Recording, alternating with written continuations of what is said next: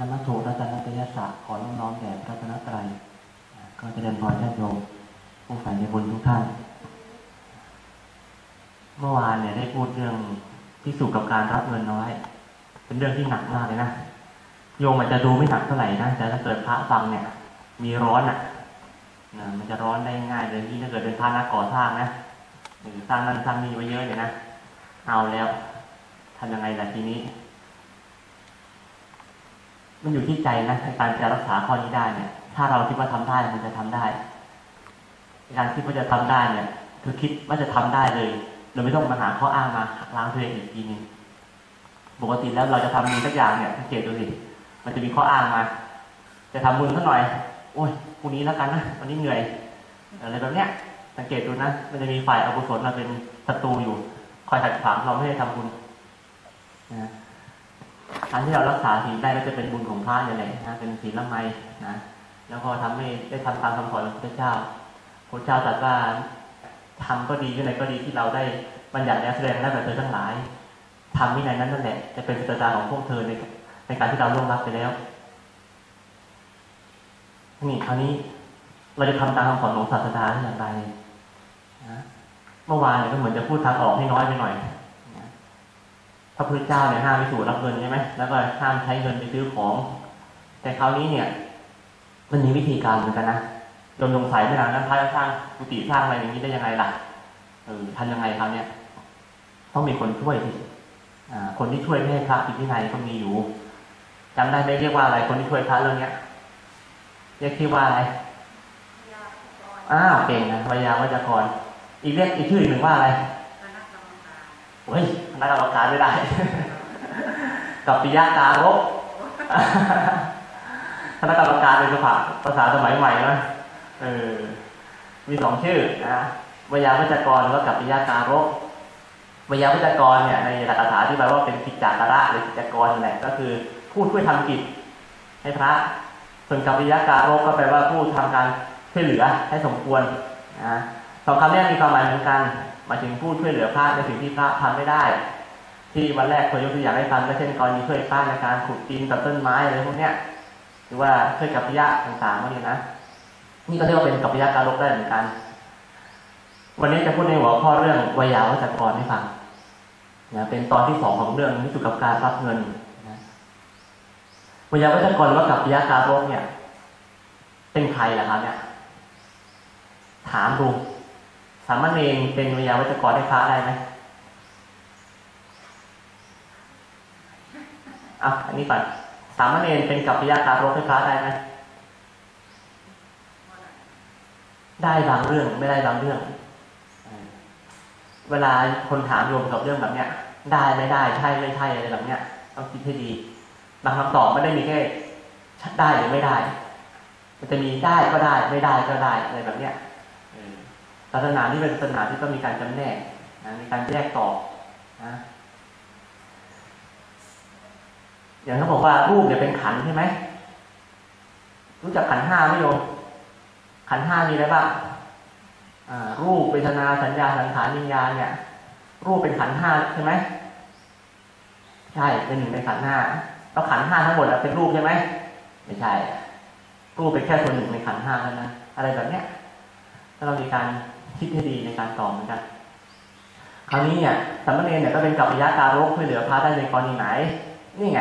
พวกตัดไม้ พวกขุดดินพวกเนี้ยเรียนทำให้พระช่วยพระได้ เพราะเรียนไม่มีขาบทห้ามแต่มาเห็นเคยเห็นเรียนขุดดินปะล่ะตัดต้นไม้อะพระทำไม่ได้เรียนทำได้นะ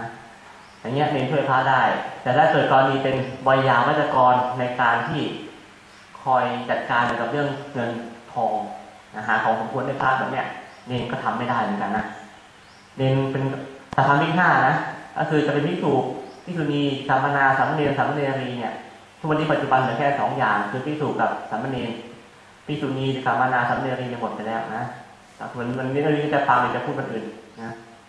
เรื่องหลักฐานต่างๆคราวนี้ในมนาสาสามิห้าเนี่ย ยกเว้นสาสามิห้าทั้งที่กล่าวไปทั้งหมดไป ที่เหลือใครก็ตามเป็นวิยาวัจกรให้พระได้ ช่วยเหลือพระเกี่ยวกับเรื่องเงินทองพวกนี้ได้ดังนั้นก็เป็นพวกโยมนี่แหละช่วยเหลือได้ช่วยเหลือยังไงล่ะก็จะพูดต่อไป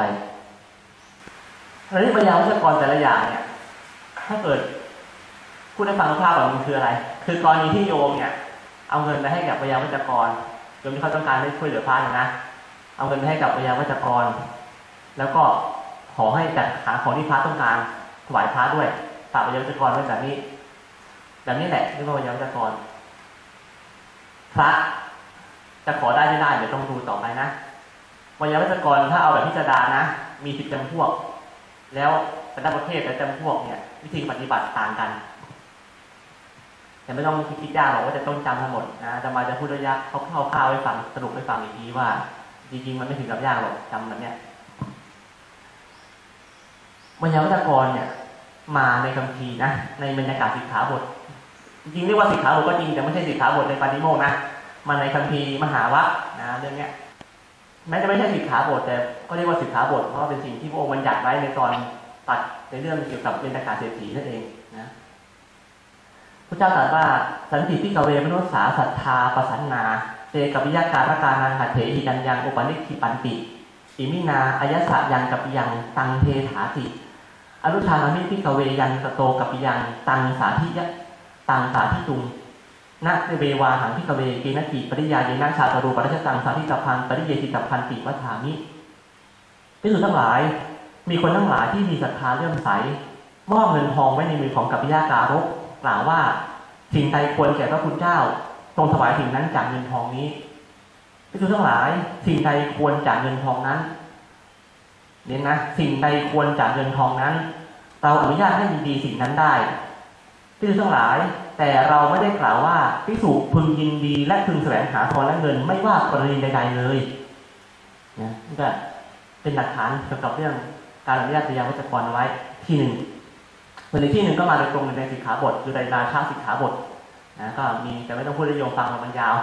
นะก็จะอธิบายเลยพยาวัจกรบางจำพวกเนี่ยนะพระขอได้แค่สี่ครั้ง เดี๋ยวไปยืนให้เขาเห็นอีกสี่ครั้ง ขอมากกว่านั้นเป็นระบัดแต่บางจำพวกพิสูจขอได้ไม่จำกัดเลยบางจำพวกพิสูจห้ามขออ้าวแปลกไหมเป็นวิยาวัจกรพระนะแต่พระห้ามขอฉะนั้นโยมต้องเรียนไง ถ้าโยมไม่เรียนเนี่ย บางทีโยมจะกลายเป็นวิยาวัจกรที่พระขอไม่ได้ แล้วโยมจะแปลกใจว่าทำไมพระไม่เห็นขออะไรไม่เห็นต้องการอะไรเลย ก็โยมไม่ได้ภาวนานี่อ่างั้นเราฟังกันดู วิยาวัจกรเนี่ยท่านแบบพิจารณามีสิบจำพวก ถ้าจะย่อก็มีสามพูดจะฟังย่อก่อน มีสามคืออะไรหนึ่งวิยาวัจกรที่พิสูจน์แสดง แสดงคือบอกว่าคนนี้เป็นวิยาวัจกรของตัวเองสองวิยาวัจกรที่ทายกเขาแสดงสามวิยาวัจกรที่ไม่มีใครแสดงเลย อ่านดูนะวิยาวัจกรที่พิสูจน์แสดงเป็นยังไง คือกรณีอย่างนี้ โยมเอาเงินมาถวายพระเนี่ย เข้ามาหาพระเลยอะโยมถวายพระคุณเจ้ายื่นหรือว่าจะพูดอะไรก็ได้เอาเงินมายื่นถวายเลย ใส่ซองหรือว่าไม่ใส่ก็ตามอะไอ้ใส่ซองเนี่ยช่วยให้พระไม่เป็นอาบัติใช่หรือเปล่า ช่วยได้เหมือนกันข้อหนึ่งในเรื่องอนามาตก็ถูกไม่เป็นอาบัติทุกกฎเพราะรับวัตถุอนามาเพราะจับวัตถุอนามาแต่ว่าเป็นอาบัติปาจิตีเหมือนเดิมในข้อรับเงินนะถ้าโยมเอาเงินมาถวายพระก็ยกมือห้าหรือว่าพูดทางวาจาออกไปว่าพระรับเงินไม่ได้นะโยม มีพระท่านถามมันก่อนว่า ถ้ามีโยมถวายเงินจะปฏิบัติยังไงล่ะ ผมก็อาตมาก็ตอบไปว่า เอ้าก็แค่ยิ้มแล้วก็บอกโยมว่าพระรับเงินไม่ได้นะโยมแค่นี้แหละจะยากอะไรอะอาตมาไม่เคยมีปัญหาเรื่องการปฏิเสธโยมเรื่องเงินนะบางท่านอาจจะเคยเล่าว่ามีปัญหาโยมไม่ชอบใจอะไรเป็นต้นอาตมาไม่เคยเจอนะทำไมไม่เจออะอย่าไปทำหน้าบึ้งใส่โยมดิเป็นทำหน้าโกรธทำหน้าเหมือนโกรธโยมทำไมล่ะก็ยิ้มหน่อยเนี่ยเอออาตมาอ่าพระรับเงินไม่ได้นะโยม ยิ้มโยมมันจะนึกว่าพระนี่ปกติหรือเปล่าอ่าก็เลยไม่โกรธเลยนะกรณีเป็นบิณฑบาตเนี่ยแล้วโยมจะถวายเงินอยู่ดีๆพระจะไปบอกว่าพระรับเงินไม่ได้นะโยมรับได้แต่สิ่งรับได้แต่อาหารอย่างเงี้ยพูดอย่างนี้ไม่ได้ เพราะเขาไม่ได้ภาวนาเรารู้จักภาวนาใช่ไหมทุกคนภาวนาคือการบอกให้พระขอได้นี่เขาไม่ได้พูดอะไรแบบนั้นเขาแค่จะถวายเงินแล้วพระปฏิเสธพอแล้ว แค่ปฏิเสธก็พอแล้ว ส่วนในเรื่องราชาสิกขาบทที่มีกรณีว่าพระรับแต่จีวรที่มีการพูดแบบนี้ออกไปเนี่ยเพราะว่าท่านรู้ว่าที่มาบริสุทธิ์โอ้แต่ว่ามันจะยาวเกินเรื่องนี้ไม่ใช่ง่ายนะแม้แต่พระก็เป็นเรื่องยากสำหรับพระด้วยโยมรู้ไหมว่าสิกขาบทเนี่ยแม้จิตนาจะรักษานะจะประพฤติให้ดี ถ้าไม่เรียนให้เข้าใจทำก็ผิดอีกคิดว่าตัวเองทำถูกกันนะแต่ผิดอย่างกรณีที่บ้านนะ คิดว่าตัวเองไม่รับเงินถูกกันนะ แต่เราเลยไปบอกโยมว่าพารับได้แต่อาหารไอ้แบบนี้พูดไม่ได้ วิธีการในวินัยคือไม่ต้องพูดอะไรเลย บอกแค่พารับไม่ได้พอแล้วนะไม่ต้องพูดอะไร คราวนี้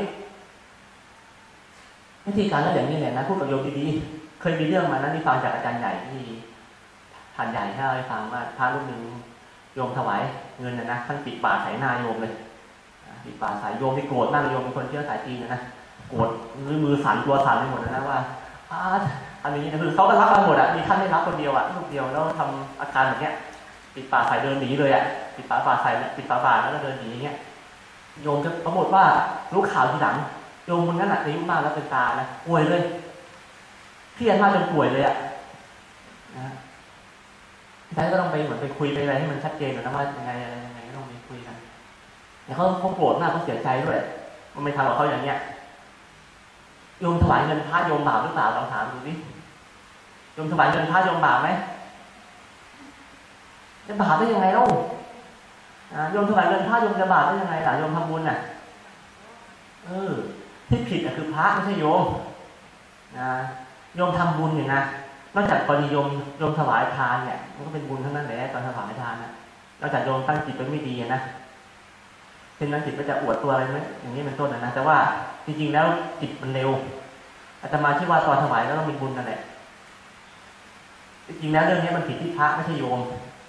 โยมจะถวายอะไรก็ตามพระต้องเป็นฝ่ายห้าม ถ้ารู้ว่าสิ่งนี้ไม่สมควรเนี่ยพระต้องเป็นฝ่ายห้าม แต่โยมอยากได้บุญของโยมอยู่แล้วนอกจากกรณีโยมจะแกล้งพระแกล้งพระเป็นอาบัตินี่เจตนาไม่ดีเนี่ยมีอาบัติแบบมีโทษได้เหมือนกัน แต่ถ้าเกิดโยมถวายทานทั่วไปโยมก็ไม่คิดอย่างนั้นใช่ไหมล่ะที่ว่าจะให้เป็นประโยชน์กับพระก็เลยถวายเงินพระแบบเนี้ย อันนี้โยมเป็นบุญของโยมอย่างแล้วแต่ว่าคนที่มีโทษคือพระเพราะทำผิดที่ไหนไปแล้วถามว่าพระจริงๆแล้วเนี่ยถึงแม้เจตนาจะรักษาคนนี้ก็ยังมีโอกาสติดได้อยู่ดีไม่ใช่จะไม่พลาดเลยตอนนี้ยังไงอะก็โยมใส่ถุงมาไง ใส่ปนกันหลายอย่างถ้าไปบางที่เขาจะใส่อาหารในถุงๆนะใส่ทั้งกับข้าวใส่ข้าวใส่น้ำใส่ในปนๆกันนะ บางทียังมีเงินซ่อนอยู่ในถุงเลยนะสิบบาทบ้างห้าบาทบ้างอยู่นั่นท้ายเรามาถึงบ้านถึงเห็นนะอะเป็นอาบัติไปแล้วไม่เป็นอาบัติอะ เพราะเจตนาจะรับสิ่งของนั้นจะรับอาหารนี่แหละแต่ว่ามันมีเงินอยู่ในนั้นด้วย ถามดู ถ้าโยมแอบใส่บาตรพระโดยพระไม่เห็นพระเป็นอาบัติไหมจังหวะพระเปิดบาตรโยมใส่อาหารปุ๊บแอบยัดเงินเข้าไปเลยเข้าไปในบาตรพระเลยพระเป็นอาบัติไหมาพระไม่เจตนาจะรับไม่เป็นแต่คราวที่ว่าเอาทำไมติดอาหารแล้วเป็นอาบัติแล้วทำไมถึงติดมากับถุงแล้วพระถึงเป็นอาบัติอะเพราะเจตนาจะรับรู้รับอาหารในถุงนั่นไง แต่มันมีคนมาด้วยไง แต่กรณีที่ถามอีกกรณีหนึ่งคือโยมเขาแอบใส่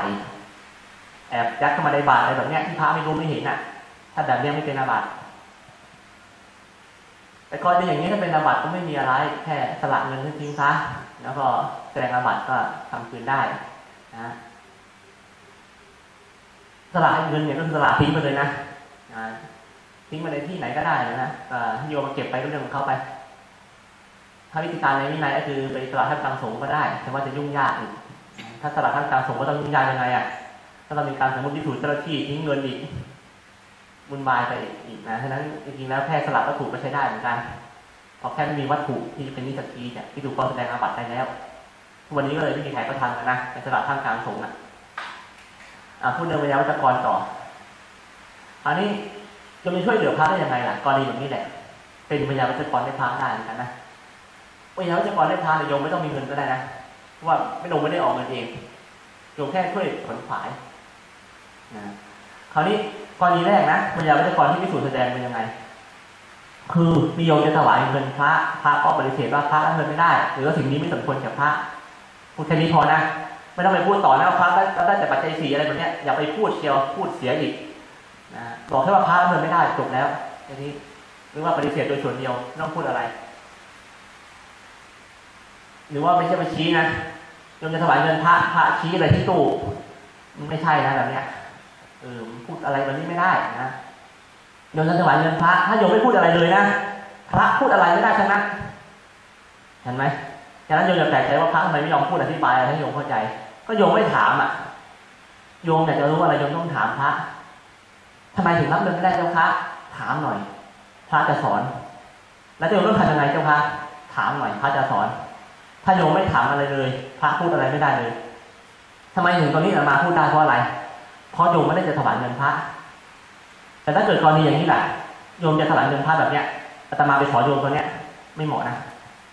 เหมือนเป็นการบอกให้โยมมาถวายมาให้โยมช่วยเหลือแบบเนี้ยมันไม่เหมาะ แต่กรณีนี้คือมันไม่มีเหตุไข้แบบนั้น ก็เป็นการถือว่าใส่ใจสอนขึ้นหัดสอนโยมเหมือนเรียนหนังสือในห้องน่ะนะคราวนี้ถ้ามีโยมมาถวายเงินแบบเนี้ยพระก็ปฏิเสธอย่างเดียวว่าพระรับเงินไม่ได้นะไม่สมควรแก่พระอะไรก็ว่าไปไอการปฏิเสธเนี่ยนะจะทำทางกายก็ได้นะยกมือไม่ต้องพูดก็ได้ ยกมือห้ามเข้าใจไหมแบบเนี้ยโยมเขาไม่คิดว่าห้าร้อยนะเออโยมให้มายี่สิบน้อยไปหน่อยยกมือห้าอ๋อห้าสิบเป็นเจ้าพระอะไรใส่ยกเอาเพิ่มอีกหรือว่ายกมือปุ๊บเนี่ยอ๋อโยมนึกว่าต้องใส่ซองเอาซองมาเตรียมใส่พี่อีกเอ้าไม่ใช่นะยกมือห้ามโยมหาย่าไม่พระอีกต้องใส่ย่ามเป็นเจ้าพระอีกอาตมาเข้าใจว่าโยมไม่ได้คิดเองหรอก เคยเจอมานะ พระบางรูปไม่รับเงินจะให้ส่ย่ามอะไรแบบเนี้ยหรือว่าบางรูปไม่รับเงิน แต่ต้องใส่ซองต้องมีพระสอนเนี่ยโยมคิดเองไม่ได้แบบนี้นแล้วทุกวันนี้ที่เขาใช้กันเรื่องเงินก็ใช้คำว่าอะไรรู้ไหมปัจจัยเพราะปัจจัยเป็นคำของพระใช้กันนะปัจจัยสี่อะฉะนั้นก็เลยบอกเลยว่าโยมเนี่ยบางทีก็พูดเตือนจริงๆนะว่า แม้แต่พระก็จริงเนี่ยเวลาไปถามปัญหาพระเนี่ย เลือกคนหน่อย เลือกถามปัญหาหน่อย ยมอย่าคิดว่าพระบทแล้วปุ๊บจะเป็นปากบัณฑิตรู้เรื่องพระธรรมวินัยตอบปัญหาเกี่ยวกับธรรมะได้ตอบปัญหาเกี่ยวกับวินัยได้ ไม่ใช่แบบนั้นนะถ้าบวชแล้วปุ๊บจะรู้เรื่องอะไรแล้วบวชมาต้องเรียนด้วยจะรู้ ปริยัติการศึกษาคำสอนเนี่ย การการจะเข้าใจปริยัติไม่ได้เกิดจากการปฏิบัติบอกไว้เลยนะมีบางคนเข้าใจแบบนี้นะว่า ปฏิบัติไปเนี่ยแต่มันรู้เอง ไม่ใช่ การเล่าเรียนคำสอนการแตกฉานในปริยัติคำสอนของพระพุทธเจ้าต้องเกิดจากการศึกษาเราเรียนนะแต่การที่จะบรรลุก็ต้องเกิดจากการปฏิบัตินั่นแหละ แต่ถ้าเกิดการจะเข้าใจคำสอนเนี่ยเข้าใจว่าสีมีเท่าไหร่ในมีเท่าไหร่อะไรแบบเนี้ยเกิดจากการศึกษาเราเรียนเท่านั้นนะเพราะฉะนั้นเราก็ต้องเลือกเหมือนกัน ในการที่จะถามใครนะหรือว่า การที่จะให้ใครมาบวชมีคนเคยปรึกษาอาตมานะเขาอยากให้ลูกเขาบวชเนี่ย อาตมาจะแนะนำตลอดเลยว่า ต้องเลือกวัดด้วยนะโยมต้องเลือกวัดให้ดีนะถ้าจะให้ลูกหลานบวชอะ ให้บวชวัดที่เขามีการเรียนการสอนวัดที่มีการปฏิบัติอย่าให้บวชในวัดที่อยู่เฉยๆดูหนังฟังเพลง หรือว่ากินนอนไปวันๆฉะนั้นโยมเลือกให้ดีนี่พูดเพราะว่าอยากให้โยมระวังเรื่องการส่งลูกหลานไปบวชถึงว่าจะหมดห่วงนะห่วงหนักกว่าเก่าอีกลูกลูกหลานจะอยู่ยังไงผมให้เขาไปเรียน อย่างนั้นเราเรียนมากก็ได้ความรู้แล้วก็มาสอนญาติโยมได้ ถ้าพระไม่เรียนแล้วใครเอาอะไรมาสอนโยมอะเห็นไหมบางทีถ้าพูดไปเรื่อยก็พูดได้นะไม่มีสาระอะไรอะก็ได้เหมือนกันงั้นเนี่ย ไปมาไม่ได้ขึ้นไปแล้วจะก่อนสักทีไว้อ่า เกินน้ำไปหน่อย เวลาหมดแล้ว